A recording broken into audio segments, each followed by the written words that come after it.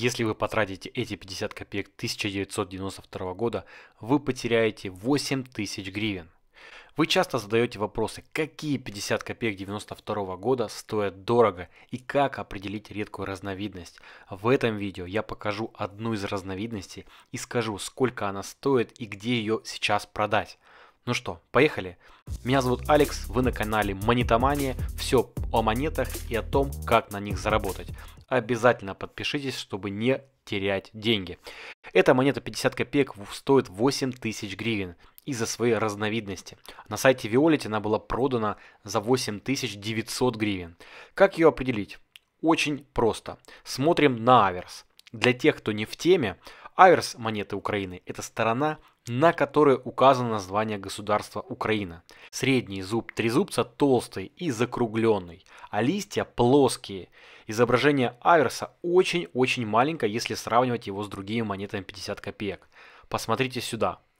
Третье зерно колоса замкнуто, а верх правого листа идет с зазубриной.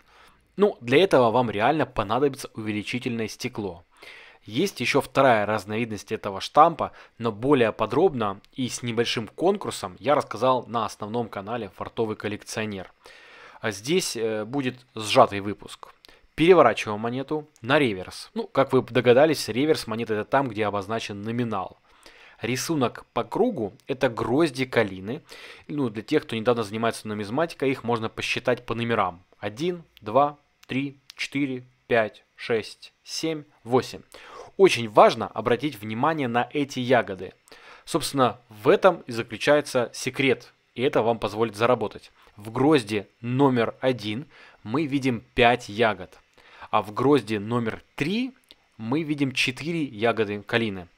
Где можно продать эту монету дорого? Ну, вот гляньте, э, на одном из сайтов, это сайт Violet, она была куплена за 8900 гривен одним из коллекционеров. Подобные монеты можно предлагать и мне в Инстаграм. Ссылку на мой Инстаграм я оставлю в описании. Переходите, пишите, присылайте мне ваши фотографии, я подскажу. Итак, мы запомнили, ягоды должны быть крупные. Грозди номер один мы видим 5 ягод, в грозди номер 3 мы видим 4 ягоды. На аверсе третье зерно колоса замкнуто, а вверх правого листа идет зазубренный. Все просто.